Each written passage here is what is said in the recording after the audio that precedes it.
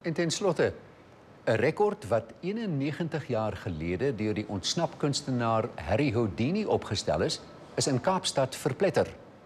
Die rekord is deur 'n Amerikaanse ontsnap-egpaar verbeter. Houdini se naam was sinoniem met asemrowende ontsnap-toertjies.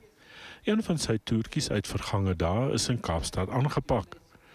Die ontsnapkunstenaars Wayne en Fran Houchen is sonder 'n veiligheidsnet onderste bo styf in dwangbuise vasgebind. Ten aanskoue van die skare wat hulle gespanne toegekyk het, het hulle Houdini se rekord met 36 sekondes verbeter. Physically, it's an extreme challenge. We spent months training physically to be able to do this. There's the dual escape is the very first in South Africa, which we're very proud of. We're so happy to be here and be able to share this with, with the country.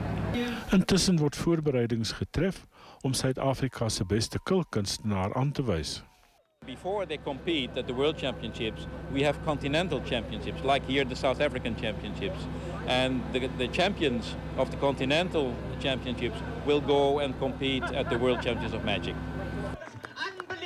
Die Houchen egpaar beplan nog een ontsnaptoertjies elders in die wêreld. Ag, wat die Amerikaanse egpaar reg gekry het, is sommer niks. Kyk 'n bietjie hier. Abracadabra. Ek groet saam met die redaksie tot môre aand wanneer die nuus in Afrikaans reeds om 6uur hier op SABC2 aan die beurt kom. Geniet die naweek. Totsiens.